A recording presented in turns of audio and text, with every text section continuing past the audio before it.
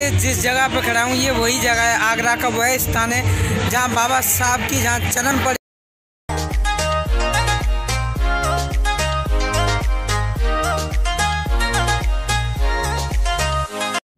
तो साथियों फाइनली मैं आज आगरा पहुँच चुका हूँ और आगरा में मैं उस बुद्ध विहार पर हूँ, जहाँ पर तथागत बुद्ध का एक भव्य बुद्ध विहार बनाए और ये बताया जाता है कि ये बाबा साहब अंबेडकर जब 18 मार्च 1956 को जब आगरा आए थे तो आगरा आकर उन्होंने इस जो बुद्ध विहार आप पीछे देख रहे हैं, इस बुद्ध विहार का स्थापना की थी।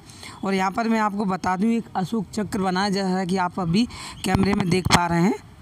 ये बहुत बड़ा अशोक चक्र बना हुआ है और जिस अगर मैं आपको पढ़ के कुछ सुनाऊँ तो इस पर लिखा है, बाबा साहब की जहाँ जहाँ चरण पड़े वह पावन भूमि है।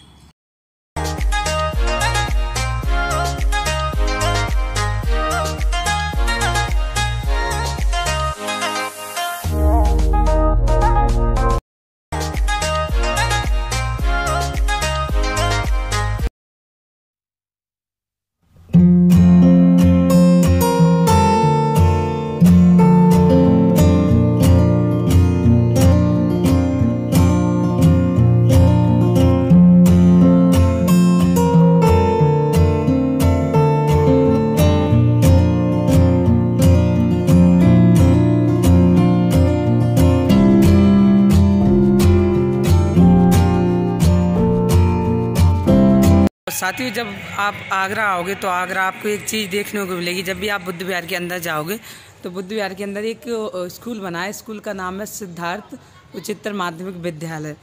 ये बना हुआ है और इसमें आप अंदर की तरफ़ देख सकते हैं। तथागत बौद्ध की प्यारी सी मूर्ति है और साथ में बाबा साहब हैं।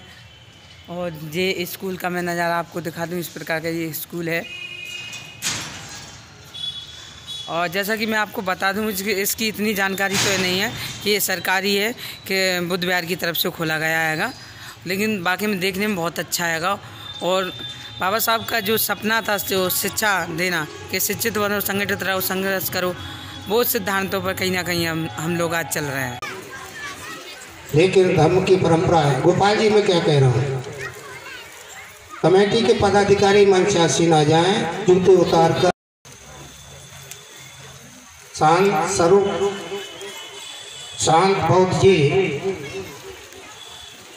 थोड़ी अपने आने में उन्हें समय लगा था।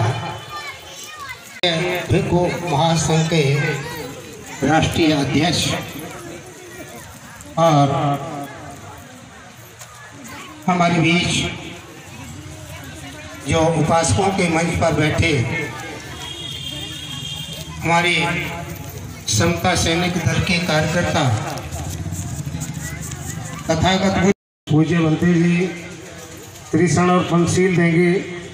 तो सभी धम्म उपासक और उपासकाओं से निवेदन है कि कुर्सियों पर जो बैठे हैं, कृपया अपने जूते निकाल दें।